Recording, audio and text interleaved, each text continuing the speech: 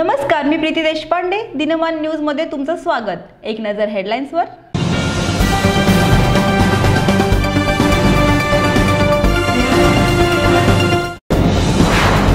दापोडी दुर्घटनेत मजुरासह अग्निशमन दलाच्या जवानाचा मृत्यू.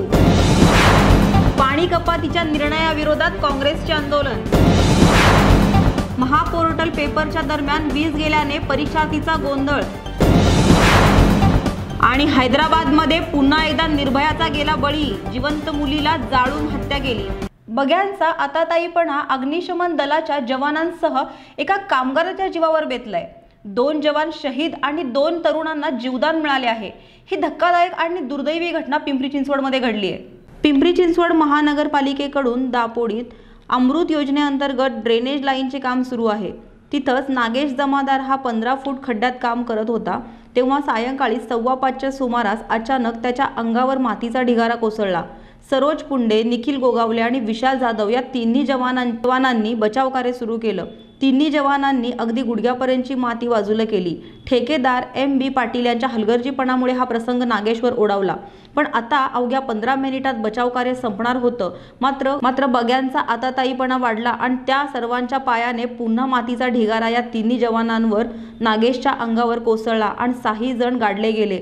मग आणखी मग आणखीन अग्निशमन दलाच्या जवानांना पाचारण करण्यात आलं. ईश्वर आणि सीताराम वरच्याच बाजूला असल्याने त्यांना शिडीच्या साह्याने बाहेर आले. ईश्वर आणि सीताराम वरच्याच बाजूला असल्याने ते शिडीच्या मार्फत बाहेर आले. तसेच काही वेळाने सरोज आणि निखिल या दोन्ही जवानांना जीवदान मिळालं. पण दुर्दैवानं विशाल जाधव यात शहीद झाले. तर मध्यरात्री साडेतीन वाजता नागेशचा मृतदेह एन डी आर एफच्या लष्कराच्या तुकडीने बाहेर काढला. पालिकेचेच अग्निशमन दलाचे जे तीन जवान होते त्यांना या मलब्यामधनं बाहेर काढलेलं आहे. पैकी दोन जवान सुखरूप आहेत. अनफॉर्च्युनेटली एका जवानाचा दुर्दैवी मृत्यू या घटनेमध्ये झालेला आहे. अग्निशमन दलाचा जो जवान शहीद झालेला आहे त्याचा दुर्दैवी मृत्यू झाला आहे. त्याबद्दल निश्चितपणे संपूर्ण महानगरपालिका प्रशासन असेल महानगरपालिका असेल सगळे लोक त्यांच्या कुटुंबियांपाशी त्यांच्यासोबत आम्ही त्यांच्यासोबत आहोत. जबाबदार आहे त्याच्यामध्ये कशा पद्धतीनं घडली याच्यासाठी दोन city engineer joint city engineer जणांना तात्काळ चौकशीचे निर्देश देण्यात आलेले आहेत. योग्य निगराणी राखली न गेल्याचं दिसून येतं आहे. तथापि त्याच्यामध्ये आत्ता बचाव कार्य पूर्ण झाल्यानंतर त्याची सविस्तर कारणांचा शोध घेण्यात येईल.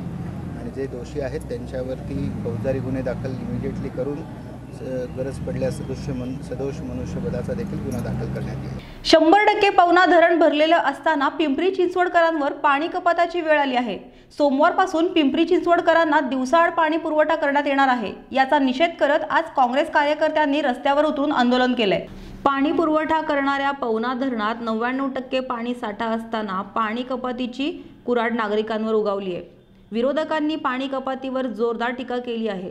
त्यातच आज काँग्रेसच्या कार्यकर्त्यांनी रस्त्यावर उतरून प्रशासनाचा ढिसाळ कारभार विरोधात घोषणाबाजी करण्यात आली आहे. महानगरपालिकेचे आयुक्त आणि सत्ताधारी भाजपा विरोधात घोषणाबाजी करत पाणी पुरवठा अधिकाऱ्यांना देखील काँग्रेसने धारेवर धरलंय मोबाईल. मोबाईल.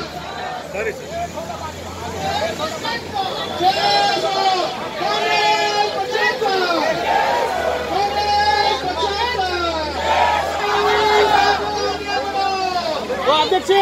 नाही सगळ्यांना इकडे बोलवा ना इकडे समोर. अध्यक्ष! अध्यक्ष!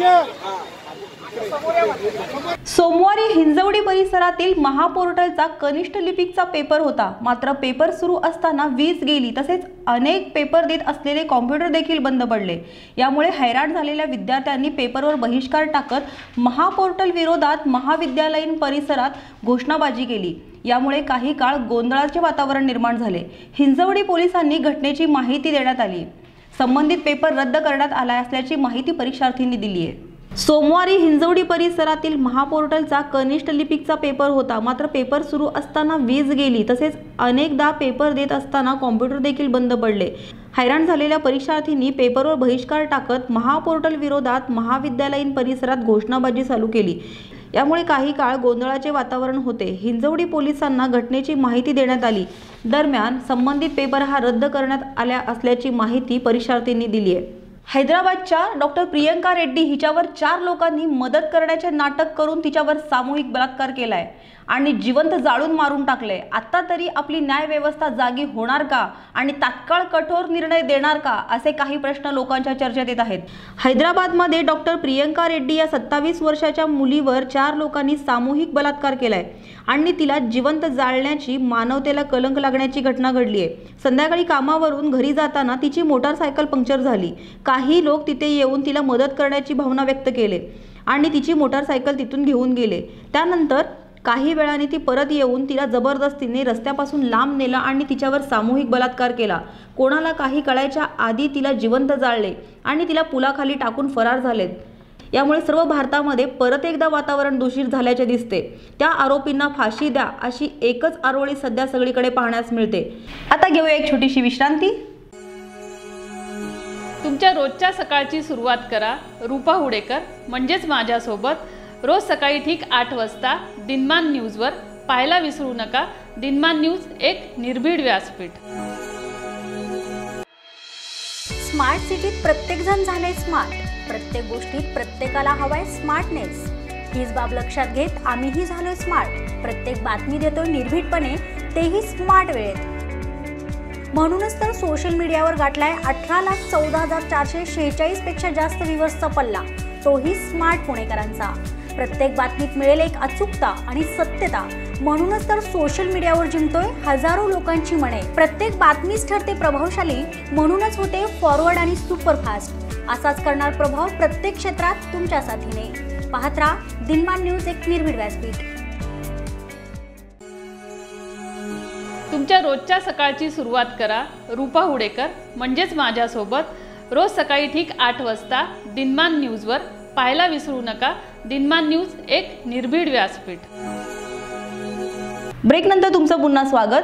देहू रोड परिसरातील मुंबई पुणे एक्सप्रेस हायवे तसेच मुंबई बेंगलोर हायवेवरील प्रवाशांना लिफ्ट देण्याच्या बहाना करून शस्त्राचा धाक दाखवून लूटमार करणाऱ्या टोळीला देहू रोड पोलिसांनी लोणार बुलढाणा येथून गजाड केलंय. देहू रोड पोलीस ठाण्याच्या हद्दीतून सेंट्रल चौक येथून लिफ्ट देण्याचा बहाणा करून बारा अकरा दोन हजार एकोणीस रोजी या टोळीने एका प्रवाशाला इंडिका गाडीत बसवले. त्यानंतर काही अंतर पुढे गेल्यावर गाडीत बसलेल्या प्रवाशाला मारहाण करत त्याच्याजवळील रोख रक्कम काढून तन कोडसहित जिवे मारण्याची धमकी देऊन काढून घेतले. तसेच प्रवाशाच्या डोळ्यावर पट्टी बांधून निर्जन स्थळी सोडून देण्यात आले. या घटनेसंबंधी प्रवासी फिर्यादीने चार अनोळखी इस्माविरुद्ध देहू रोड पोलीस ठाण्यामध्ये तक्रार नोंदवली आहे आरोपींनी प्रवाशांकडून घेतलेले डेबिट आणि क्रेडिट कार्ड यांच्यावरून विविध ठिकाणांवरून दोन लाख बारा हजार रुपयांची सोने चांदीचे दागिने तसेच महागडे गॉगल्स आरोपींनी खरेदी केले होते. या घटनेच्या तपासादरम्यान ज्वेलरी शॉपमधील सी सी टी व्ही कॅमेऱ्याचा आधार घेत तपासादरम्यान देहू रोड पोलीस ठाण्यातील कर्मचारी प्रमोद उगले यांना गुन्ह्यातील चारही आरोपी हे बुलढाणा जिल्ह्यातील लोणार येथील असल्याची गोपनीय माहिती मिळाली. त्यानुसार वरिष्ठ पोलीस निरीक्षक मनीष कल्याणकर यांच्या मार्गदर्शनाखाली गुन्हे थेट बुलढाणा लोणार परिसरात आठ दिवस कसून आरोपींची शोध घेत पवन प्रकाश कडाळे संतोष अशोक इंगवले तसेच त्यांच्या एका अल्पवयीन साथीदारांना पोलिसांनी ताब्यात घेतले टोळीचा मोरक्या अविनाश शिंदे हा फरार झालाय. पोलिसांनी ताब्यात घेतलेल्या आरोपीकडून देहू रोड शिरूर शिक्रापूर परिसरातील पाच गुन्हे उघडकीस आणण्यात पोलिसांना यश आले आरोपीकडून गुन्ह्यात वापरलेली एक इंडिका कार सह तीन लाख पन्नास हजार रुपयाचा मुद्देमाल हस्तगत करण्यात आलाय.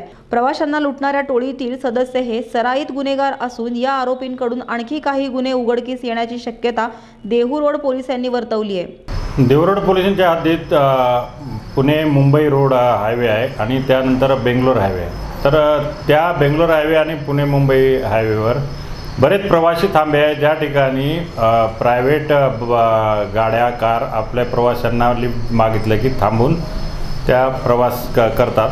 अशाच प्रवाशांना लुटण्याचे प्रकार सुरू झाले होते. गेल्या एक दीड महिन्यापासून असे दोन ते तीन प्रकार झाले.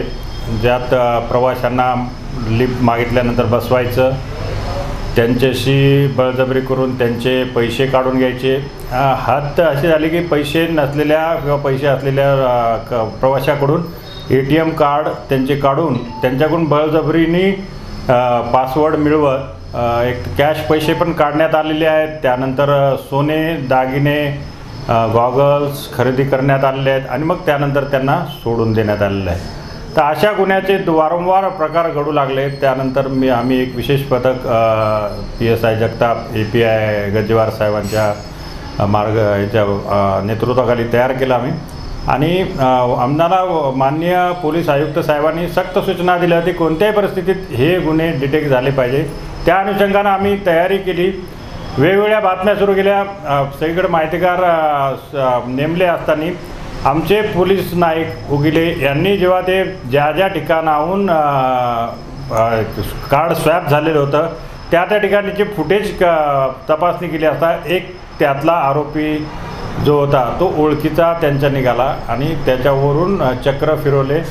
तर आम्हाला लोणार जिल्हा बुलढाणा येथील चार आरोपीचा याच्यात सहभाग असल्याची पूर्ण खात्री पटल्यानंतर आमची टीम अहोरात्र आठ ते दहा दिवस त्या भागात मुक्काम करून राहिली आणि त्यानंतर आम्हाला तीन आरोपी मालमत्तेसहित मिळालेले आहेत.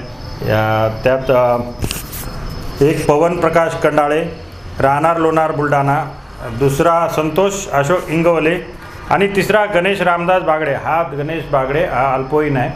बाकीचे जो ना आहे तो मेजर आहेत. त्यातला सगळ्यात महत्त्वाचा म्हणजे अविनाश शिंदे हा आरोपी फरार असून तो निगडी इथे भरपूर त्याच्यावर गुन्हे आहेत. जवळपास बारा गुन्ह्यात गुन्हे केले लुटमारी त्याच्यावर आहेत. तर त्यांनी हा ने- त्याच्या नेतृत्व त्यांनी गँग लीडर आहे हा याचा आणि तो हा प्रकार करण्यामागं महत्त्वाचा आहे त्याचा आमचा शोध चालू आहे. तर या प्रकरणात आम्ही वेगवेगळ्या प्रकारचे गुन्हे ओपन केलेले आहेत. त्याच्यात अ, देवरोडचे तीन गुन्हे डिटेक्ट झाले असून उघडकीस आले असून त्यानंतर शिरूर आणि शिक्रापूर पोलीस स्टेशन. पुणे ग्रामीणमधील शिरूर पोलीस स्टेशनचा गुन्हा नंबर सातशे बहात्तर आणि शिक्रापूर पोलीस स्टेशनचा सातशे अडोतीस.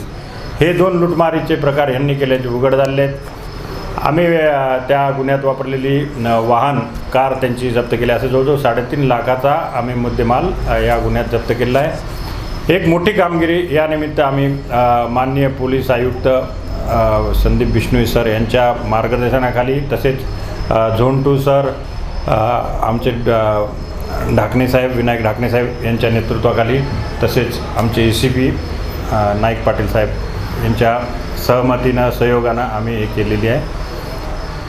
लोणावळा रेल्वे स्थानकात मोठ्या प्रमाणात भटक्या कुत्र्यांचा वावर वाढल्याने प्रवाशांच्या जीवाला धोका निर्माण झालाय. अनेक कुत्र्यांमध्ये सुरू असणाऱ्या टोळी युद्धामुळे प्रवाशांना अक्षरशः जीव मुठीत धरून रेल्वे स्थानकावर प्रवास करावा लागतोय. एखादी गाडी पकडण्यासाठी धावत असलेल्या प्रवाशांच्या अंगावर ही भटकी कुत्री धावून जातात. अशा वेळेस प्रवाशांची मोठी तारांबळ उडते. दचकलेल्या प्रवाशांना गाडी काय हातातील पिशवी सांभाळणे देखील अवघड होते.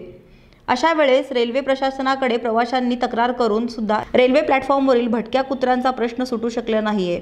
भटक्या कुत्र्यांचा उपद्रव प्रवाशांच्या जीवावर बेतण्याआधीच प्रशासनाने कुत्र्यांचा बंदोबस्त करावा अशी मागणी पिंपरी चिंचवड रेल्वे प्रवासी संघाकडून करण्यात आली आहे पुण्यात एका अनोख्या सौंदर्य स्पर्धेचे आयोजन करण्यात आलं होतं. अनेक सौंदर्या नटून थटून रेड कार्पेटवर शानदार वॉक करताना पाहायला मिळाल्या. पाहूयात या नक्की सौंदर्यवती आहेत तरी कोण?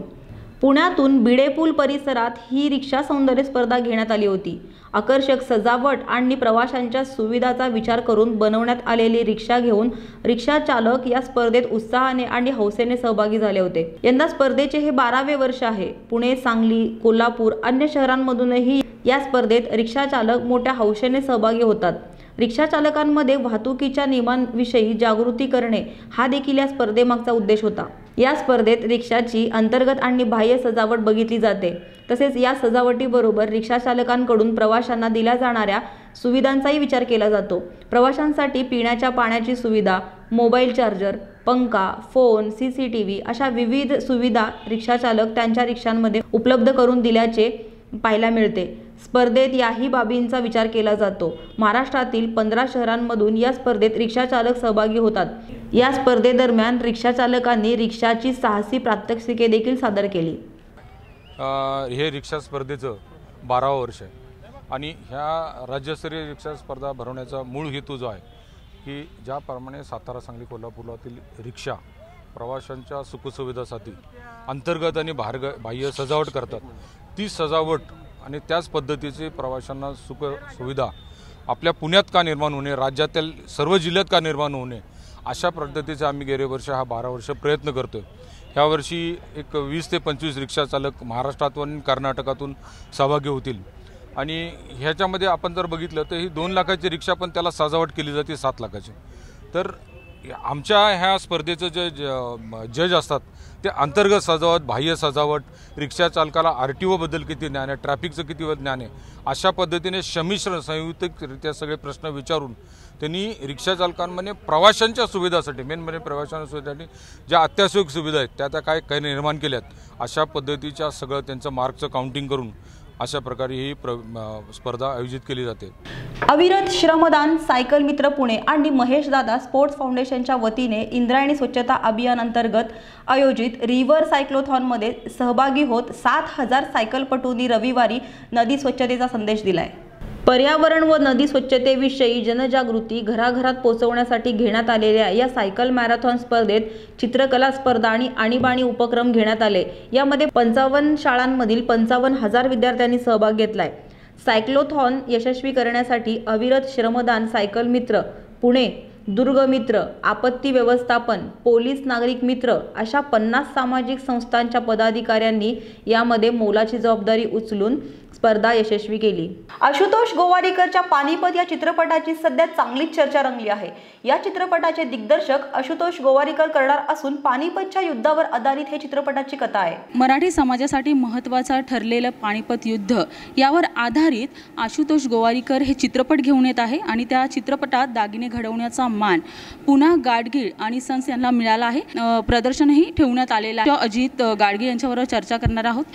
नमस्कार सर. नमस्कार. सर मी पहिल्यांदा हे विचारू इच्छिते की दागिने घडवण्यामध्ये किती अवधी द्यावा लागला तुम्हाला आणि ते कसे घडवण्यात आले? अवधी म्हणजे आला आम्हाला म्हणजे जेव्हा ते कॅरेक्टर आम्ही अगोदर समजून घेतो कोण घालणार आहे काय घालणार आहे त्यांच्याकडनं येतं की या कॅरेक्टरला असे हवे आहेत.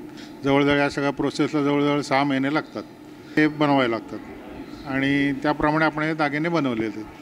सर आशुतोष गोवारी सरांनी तुमच्यावर जो विश्वास दाखवला आणि तुम्हाला जी संधी दिली आहे की चित्रपटासाठी दागवणी घडवण्याची त्या संदर्भात काय सांगा आशुतोष गोवारेकरांचा आमचा जुना संबंध आहे. दागिन्यांचा सांगितला ना तर म्हणजे मुख्य ते पेशवे म्हटले की तिथं मोत्यांचा वापर जास्त होता मोती पाचू. आणि म्हणजे आता पूर्वीचे जे आम्ही पेशव्यांची दप्तरं बघितली हे बघितली त्याचा अभ्यास केला. आणि त्यात ते आम्ही अभ्यास केला की पेशवे म्हणजे मोती. पण पेशव्यांनी ज्या म्हणजे पंढरपूरच्या देवस्थानाला असू दे इतर काही देवस्थानात त्यांनी भेटी दिल्या. ते देखील मोत्यांचे मोठे मोठे कंठे दिलेले आहेत. पुरुषांसाठी दागिने इथे जास्त आम्ही बनवले गेलेत. कारण जे फारसे आता म्हणजे ते ट्रेंडही बदल चालला आहे. त्यामुळे पुरुष चित्रपटाचे दागिने हे महाराष्ट्रीयन शैलीबरोबर उत्तरेकडील शैलीतील असून दागिन्यांसाठी विशेष संशोधन केले आहे. हे दागिने विविध राज्यातील आमच्या कारागिरांनी घडवलेत. सोन्याबरोबर कुंदन मोती आणि विविध रंगाच्या स्टोनचा वापरही दागिन्यांमध्ये केलाय. पारंपरिक मराठा आणि पेशवाई शैलीचे उत्तम कलाकुसरीचे दागिने घडवण्याचा हातखंड पूना गाडगीळ अँड सन्सचे असल्याने आम्ही त्यांची निवड केली आहे असे आशुतोष गोवारीकर यांनी ट्विट केले आहे. आणि आय मी म्हणतो की वी आर फॉर्च्युनेट की ते आम्हाला हो म्हणाले की आम्ही एका फिल्मबरोबर टायअप करू. तर it has been a great association Maharashtra असल्यामुळे मी लहानपणापासून मी uh, घरातच बरीच दागदागिने बघितलेले आहेत. पण ते सगळे कॉमन आहेत आणि खूप बेसिक आहेत.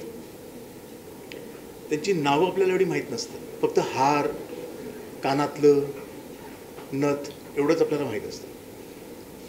पण या फिल्मला करताना जेव्हा यांनी टीम जेव्हा हो म्हणाली आणि मग त्यांनी डिझायनिंग चालू केलं आणि त्या डिझाईन टीमच्या थ्रू जेव्हा वेगवेगळे हार मला बघायला मिळाले तेव्हा मला कळलं की किती किती रिच ट्रेडिशन आहे आपलं महाराष्ट्र महाराष्ट्रीयन ज्वेलरीचं मग ते चाफा माळ असो बकुळी हार असो ठुशी असो असे आता मला अजून बरेच आहेत. पण हे सगळे मला ॲक्च्युली बघायला मिळाले जवळून बघायला मिळाले. आणि एक अतिशय अभिमान वाटला मला की एवढे वेगवेगळ्या प्रकारचे एवढे म्हणजे पोहा हार मला माहीत नव्हता. पण तो पोह्यावरून पोहा हार आहे हे पहिल्यांदा मला कळलं. आणि फिल्ममध्ये अडीच हजार मला वाटतं वेगवेगळे पीसेस होते जे प्रत्येक कॅरेक्टर्ससाठी त्यांनी एक कॅरेक्टरायझेशन मनात ठेवून त्यांनी डिझाईन केले. आणि त्या प्रकारे आम्ही सदाशिवराव भाऊ पार्वतीबाई बाकीचे जे जितके कॅरेक्टर्स आहेत त्यांना काही ना काहीतरी आम्ही सजवत गेलो. म्हणजे मी एवढं म्हणू शकतो की Panipat without P N Gadgil is incomplete म्हणजे त्यांचं जर का सपोर्ट नसता तर ही फिल्म ज्या प्रकारे आत्ता दिसती आहे किंवा ज्या प्रकारे आत्ता एक अल्युरिंग वाटते इन्व्हायटिंग वाटते ती वाटली नसती. So it's a really wonderful wonderful association मी अ, अ, घालून बघितली नाही पण आय वॉन्ट टू से कि अगर नहीं होते इनके इनका सपोर्ट तो मेरे बजट्स बहुत ऊपर नीचे जाते हैं।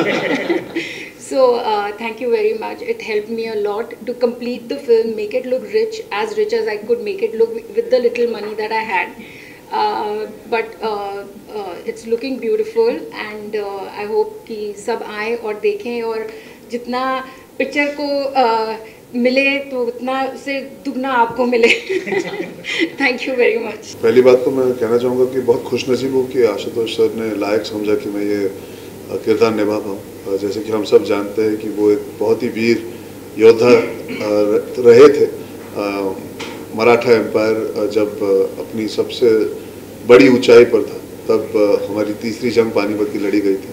और सदाशिवराव भाव ने ही सेनापति होने के नाते चालीस हज़ार योद्धाओं के साथ अहमद शाह अब्दाली का सामना किया था। सो आई थिंक कहीं ना कहीं ऐसे किरदार फ़िल्मों में लिखे नहीं जाते, ये तो फिर भी एक इंसान है जो जिए तो मेरे ऊपर एक ज़िम्मेदारी थी। मैं चाहता था कि इसे जितने अच्छी तरह हो सके निभा पाऊँ।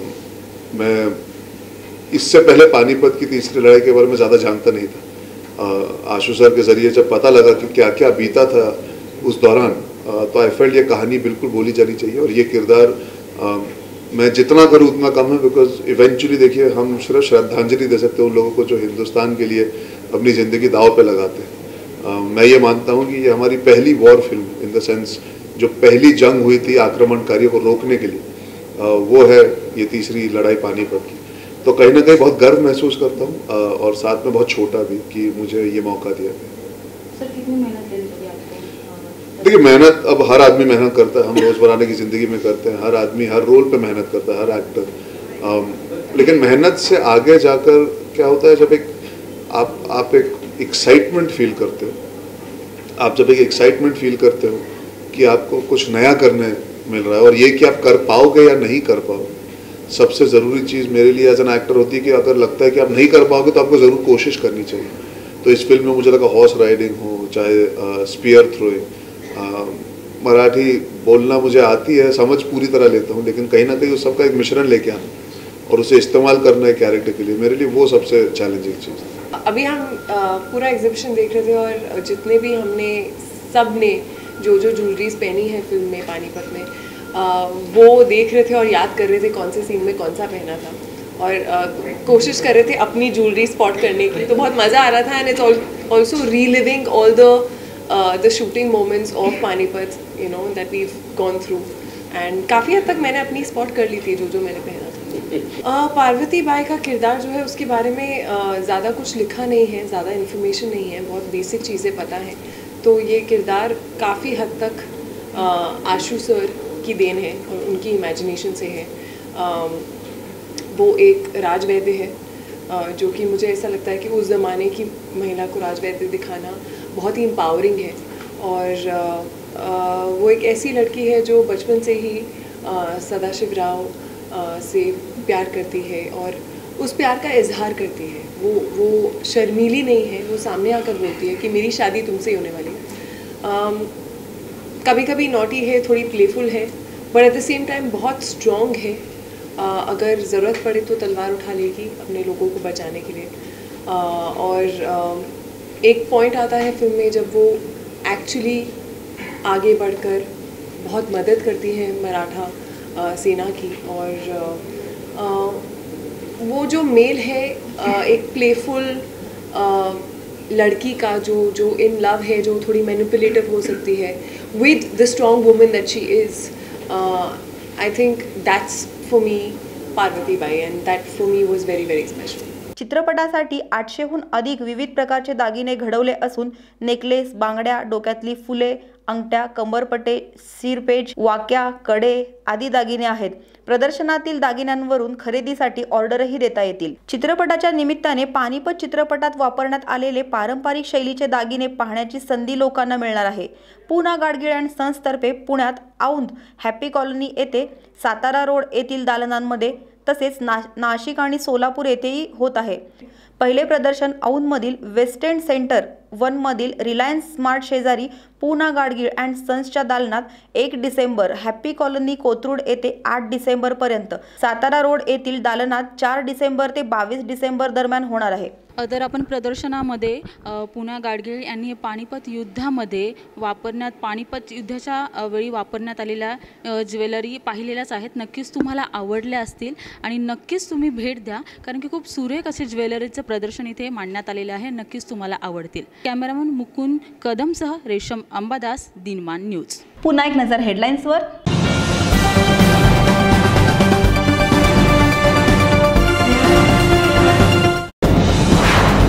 दापोडी दुर्घटनेत मजुरासह अग्निशमन दलाच्या जवानाचा मृत्यू. पाणी कपातीच्या निर्णयाविरोधात काँग्रेसचे आंदोलन. महापोर्टल पेपरच्या दरम्यान वीज गेल्याने परीक्षार्थीचा गोंधळ. आणि हैदराबादमध्ये पुन्हा एकदा निर्भयाचा गेला बळी. जिवंत मुलीला जाळून हत्या केली. याबरोबरच हे बातमीपत्र इथे संपलं. आपण भेटूया पुढच्या बातमीपत्रामध्ये. तोपर्यंत तुम्ही पाहत रहा दिनमान न्यूज एक निर्भीड व्यासपीठ. नमस्कार.